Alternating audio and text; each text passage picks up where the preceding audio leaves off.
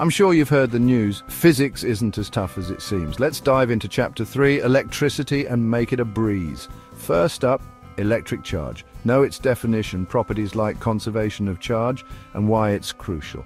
Next, electric current. Understand the formula I equals Q over T, its unit, ampere, and the flow direction. Moving on, electric potential and potential difference. Learn the definitions, formula Vi equals W over Q, and the unit, volt. Now, Ohm's law, V equals IR is a must-know. Understand the relationship and graphical representation. Resistance and resistivity are key too. Grasp the definitions, formulas, units and factors affecting them.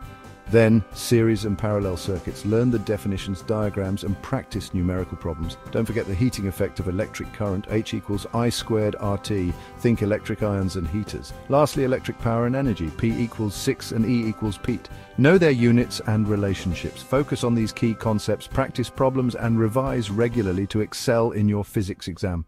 Good luck!